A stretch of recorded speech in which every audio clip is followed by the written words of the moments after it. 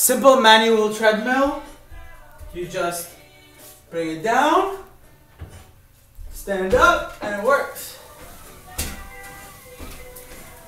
You can speed up, you can slow down, no controls, no nothing. It just uses your own momentum to make it move. $50. If you want it, let me know and it's yours.